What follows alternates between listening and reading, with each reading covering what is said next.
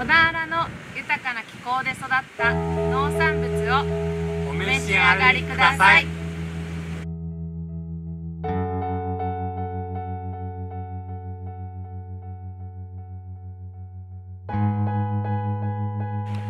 きらびやかなお椀ではないですけれども料理を持った時に美味しく見える器です。ぜひ園部産業名木椀使ってみてください。えー、全てあの小田原のソナバイリンで生産された梅干しを中心に作ってます。塩だけで漬け込んでいますのでおにぎりお弁当なんかにも便利です。粒がちょっと不ぞろいなんで 400g になってますがあのお弁当とかおにぎりなんか使うには最高に便利です、えー、小田原市のふるさと納税よろしくお願いします。